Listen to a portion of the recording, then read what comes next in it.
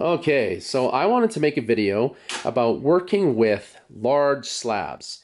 Um, I'm not making tables, I'm making rockers. And I plan to make three rockers out of these four pieces and this piece over here, okay? I got this wood from a store in my town called Wood Cache. They've got some really great wood there, and these were some figured walnut slabs, so it's very pretty wood, and I want to use it the best that I can. Um, if I look at them, the bottom portions of the slabs aren't very curly, but they have really beautiful color. At the top, there's really nice color, but a lot of figure, and I really want to kind of separate those two woods out because I think they'll look more congruent. Um, I'm going to make three rockers in total, one out of the figured, and then two out of the less figured wood. These are the templates that I use for my traditional Hal Taylor inspired rockers. Okay, so I have pieces that describe the back braces, the rockers, the back leg, the arms, the seat, the front leg, and the headrest. Okay, so what I do is I take all those pieces and I try to find where they're to fit on these slabs. The, the parts are probably a little bit hard to see, but it's these lines here, these black lines that are outlining the parts. And what I've done is I did my best to lay all the parts out. So again, the top part is more figured. So I want to try my best to make one rocker out of all the figured wood and then two rockers out of the less figured rock. The other two rockers are going to be a different design and require less wood. So I felt it was more important to get these parts laid out and cut out and then everything else I will use for the two rockers. Right away we notice there are some very large defects in the wood. Major, massive knots. There are cracks. There are cracks on this one. There's some rot. There are inclusions. Again, big knots. Pieces completely missing. Unfortunately, you know, some of the most beautiful wood is often really close to these inclusions. So, what I have to do is I have to try to use the wood in the best possible way that gets me the nicest figure, but also avoids a lot of the defects that I don't want in the rocker. So if I zoom in here a little bit, you can see some very, very big cracks. Here there's some minor inclusions, you know, and the problem is these slabs are very big. So it's very hard to look at both sides simultaneously. What I've done is I have taken and marked on here where I feel like the other side of the board has issues. When I first got the boards, I stood them up outside and I did my best to transcribe from one side to the other. So on this side of the slab, this piece looks really beautiful. There's some really nice figure and some really nice colors, but on the other side, it's thin and cracked and it does not look good. So I know it's hard to see, but I've transcribed that bad side with this red line onto this side. So I know I shouldn't use any of the wood in here. Um, that's a hard part, you know, when you're dealing with slabs. What I like to do is I like to cut them into smaller pieces and then deal with them. So you can see these dark lines here. These are my cut lines. I've decided to cut around here and that will give me my one side of the seat and the other side of the seat.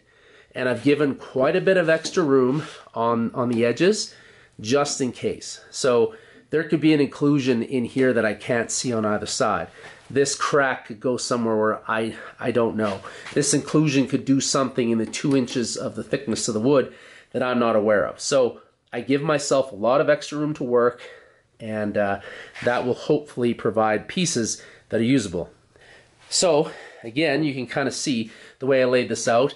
I'm doing my best to pull the front leg out of here, my back legs out of here. You can see them just lightly traced on there. Um, I'm to try and get my headrest out of here. So I've got one, two, three, four, five, six pieces for the headrest. Uh, again, my seat and seat. And then I also have two front leg pieces. Over on this piece, I've got my two arms here because I thought this was really beautiful and I think they'll they'll look really good on the rocker. So I pulled my two arms out of there. Is I've done my best to leave large chunks of wood untouched. I didn't want to take my arms out of here because it's less figured, like I said before, but also I want to leave these large pieces to work with for my other two rockers. This piece, I did my best not to use it. I feel like I can probably get a lot of my rockers out of this because it's a good thickness and thing. And I can work around these large knots. So the next step in this process is I'm going to go ahead, take my jigsaw, and I'm going to cut along these lines here, these dark lines that I've marked on here to try and break this big slab into smaller, more workable pieces.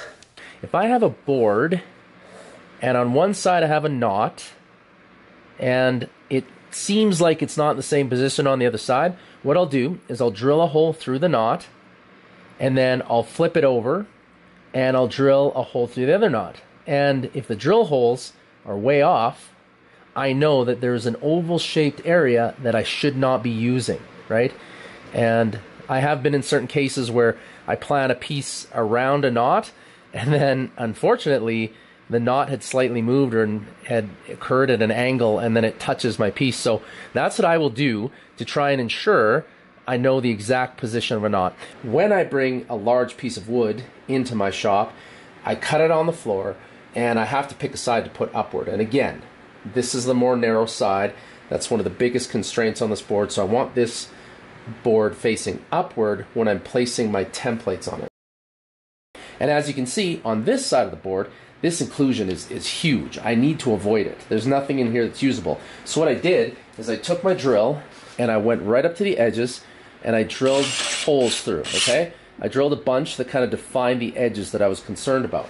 So, if this is a very large board and you have to cut it up the way I do on the floor of my shop, I needed to know exactly where this edge was, where the wood was completely unusable. So again, this board looks a lot wider on this side. When I flip it around, there's a lot less usable wood I want to avoid all this stuff. So again, I want to have this side of the board sticking up. As you can see, where I've marked with the drill holes, I know where those edges are. So I know I got to stay away from that. If I had laid it down on this face, I might have thought, oh, well, I could probably sneak up to this little crack or inclusion. But I know I can't because of where my drill holes are.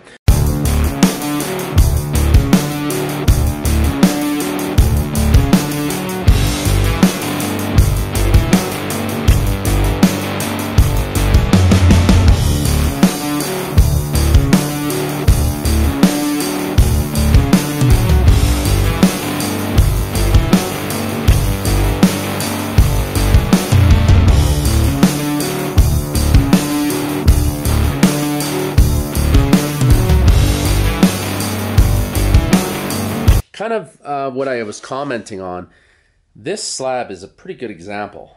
From the top, I could see that there's an inclusion somewhere in here, but I wasn't entirely sure how deep it went. And on the other side, I couldn't see a lot. I could just see a little kind of inclusion here, but it went all the way through, and it actually went really deep. But the fact that I planned the seat to kind of stay away from you know this edge was quite important because now I think this inclusion probably goes quite a bit deeper into here. So this outer edge, if I had pushed it over here, might not have worked out. So what I can do now, now that it's a smaller piece, is I can probably just cut this off until I find where this inclusion ends and then butt my seat right up against that. So again, taking it from the large slab into smaller pieces, but pieces that have extra material to work on is very important. On this single piece, I have one side of the seat and the other side of the seat. This wood has sat for a little bit, so it has warped. Some pieces have warped a little bit. So instead of trying to flatten this whole piece to before I cut my seats out, what I'll do is I'll cut this in half, and then any imperfections or, or bends, curls, or anything in there that are happening is basically divided in two, right? So if there was a big kind of bow in the middle here, instead of trying to flatten the whole board, I'll cut it in two, and then a lot of that undulation is actually taken out. And you lay the board on a flat surface and it has a bow in it, like this, you know, if you don't have to flatten this entire board, the best thing to do is to cut it in half, say, for so for my seat example, I had half the seat over here and the other half of the seat on this side. So instead of trying to get this whole piece flat before I cut it, I just cut it in half and then I have two smaller pieces. So then when you lay them down, basically you've got two much smaller curves in that board, right? So to get this board flat, you have to take a lot less off of these shorter boards. Instead of having to chew off all this and losing all this material, now you're just losing these tiny little corners on each piece. So that's just one strategy that I use to conserve wood. the next step, just uh, on this, is I will take something like this, where I have my arms roughly drawn on here, and I will take the template again, and I'll take a really fine pen, a ballpoint pen, and I will draw the parts on and then cut them out of the bandsaw. So right now everything's very rough. For today, I just want to show you how I break down big slabs and try to plan it out the best I can to, to try and uh, use the wood most wisely.